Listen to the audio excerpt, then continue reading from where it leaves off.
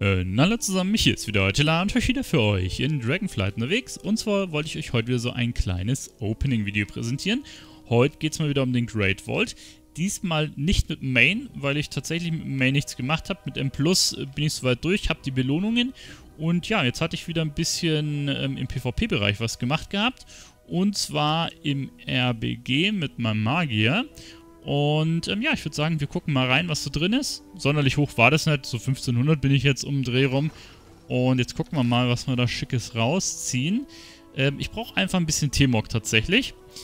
Und was haben wir da? Wir hätten einmal einen Umhang und wir hätten einmal eine Hose. So was ich geguckt habe, brauche ich eh Versa Tempo. Dann würde ich fast sagen, nehme ich lieber die Hose weil die mehr kostet als ein Umhang. Ring kann ich eigentlich vergessen. Der wäre zwar auch gut, ist sogar alles mit Versa-Tempo, sehe ich gerade, aber ähm, es kostet am meisten Punkte, glaube ich, die Hose. Deswegen nehmen wir die jetzt einmal. Und ja, ich habe noch ein paar Punkte, die ich theoretisch beim Händler ausgeben kann. Aber da warte ich jetzt mal noch, was ich sonst so rausziehe. Bis jetzt habe ich halt nur dieses blaue Set an, ne? Um dementsprechend schon mal so ein bisschen was auszuhalten. Aber naja, mit Magier kriegst du schon auf den Sack auf jeden Fall.